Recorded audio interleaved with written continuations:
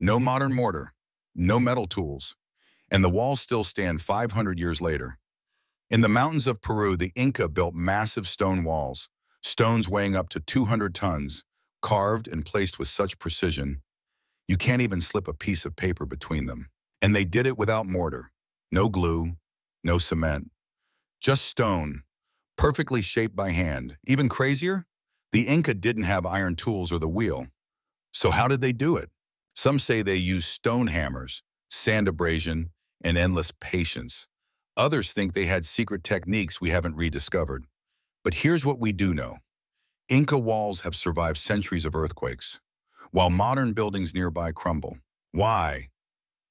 Because their blocks were cut in irregular shapes, interlocking like a 3D puzzle that flexes instead of cracking.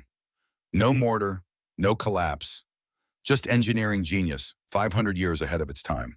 Follow Ancient Explored for more ancient tech that still stuns us.